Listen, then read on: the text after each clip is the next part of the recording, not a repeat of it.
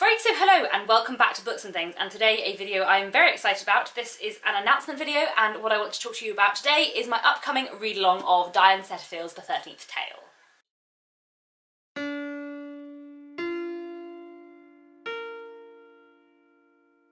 Be a bit of a different read-along for me. It's going to take place in less than a year, very exciting, and it's not going to be of a classic, it's going to be of a 21st century novel, and the read-along is just going to be two weeks long in the final two weeks of September. So the read-along is going to take place between Monday the 17th of September and Sunday the 30th of September, so two weeks long, and the basic idea is to read about 32 pages a day.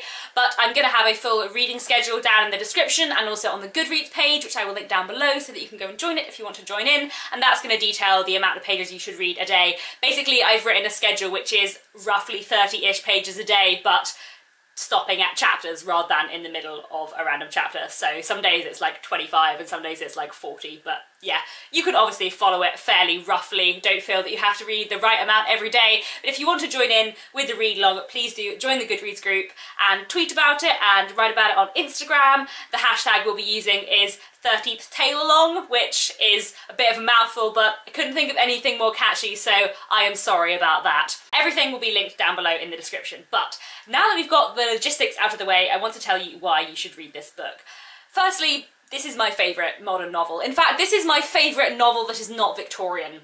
Do I mean that? Do I love it more than Pride and Prejudice? Maybe, maybe not. It's my favourite novel that is not 19th century. I think we can safely say that. I love it an awful, awful lot. It is brilliant and incredible and I can't recommend it enough. Number two, this is a book for book lovers. It is full of literary references on every page and it is a book especially for lovers of 19th century literature. Some Dickens references, a lot, a lot, a lot, a lot of Bronte references throughout the book, which is something I absolutely love. The central character, our narrator Margaret Lea, she grew up in a bookshop. Her father runs an antiquarian bookshop and that is the place she has grown up and spent her life. She loves books and books are familiar to her. The shop itself makes next to no money. It is a place to write and receive letters, a place to while away the hours waiting for the next international book fair. In the opinion of our bank manager, it is an indulgence, one that my father's success entitles him to.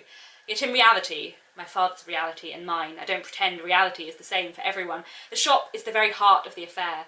It is a repository of books, a place of safety for all the volumes, once so lovingly written, that at present no one seems to want. And it is a place to read. A is for Austen, B is for Bronte, C is for Charles, and D is for Dickens. I learned my alphabet in this shop, my father walking along the shelves, me in his arms, explaining alphabetisation at the same time as he taught me to spell. I learned to write there too, copying out names and titles onto index cards that are still there in our filing box 30 years later.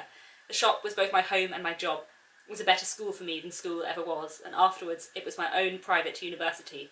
It was my life. It's so good. Number three, it is a book not just for book lovers but for lovers of writing and writers.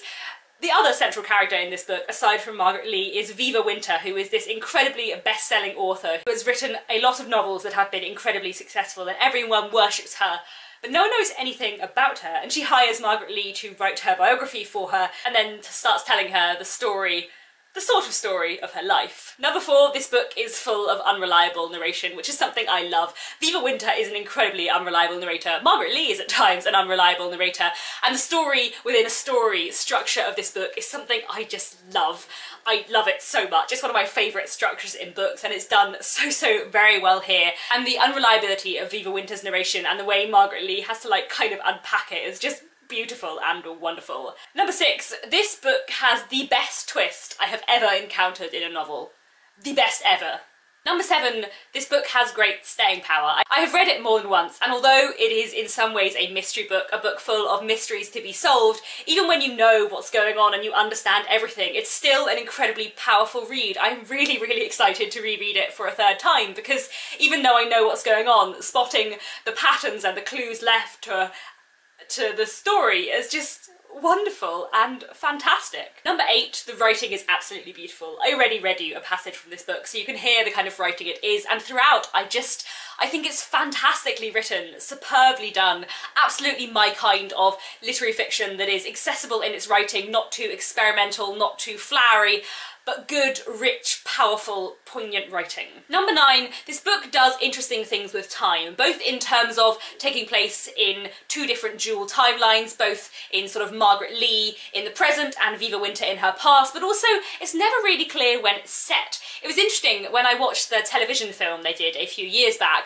and that like pinpointed everything very securely in time and it really bothered me because one of the things I like about this book is the kind of ambiguity of time, the way that certain characters seem to exist almost outside of time and the kind of fairy tale nature to the story that Vida Winter tells Margaret. The reason number 10 is the balance. I have used this term before to talk about authors like Emily St John Mandel and Charles Dickens. This book has such a brilliant balance of brilliant plot, wonderful characterization, fascinating themes superbly dealt with, and beautiful, elegant writing that pulls it all together so, so well. So I hope that has given you a bit of a clue of why perhaps you might like this book. Like I said, it is a book for book lovers and it is entirely up my street. Like, I've never encountered a book that feels more just sort of perfection in a book for me. After I made Nick read this about four years ago, he turned to me and said, are you sure you didn't write this book? And I think that's because it is like so much just my kind of thing. I wish I had written this book. This was the book, like, as a teenager, wanting to be a writer and sometimes, like, struggling with writing and not so sure about what to do with it. I used to sometimes just pick up this book and reread like a chapter of it and it would remind me why I wanted to be a writer because it's just absolutely the kind of book I want to write. I love it a lot and I can't wait to read it again and for lots of you to read it because it's brilliant and I really hope you all will like it too. I feel like if you have similar book taste in me, both in terms of contemporary taste and sort of classics taste, I think you will really like this. And also because I think it's so brilliant that I don't understand why anyone wouldn't. And I love it so much. So there we go. Okay, gush over. Please let me know down in the comments if you would be interested in joining in with this read long. Please do join the Goodreads group, which I'll link down below, and tweet about it and Instagram about it and stuff like that. And I'm waving my hands back, so I'm really excited. I'm talking very fast. It's all good.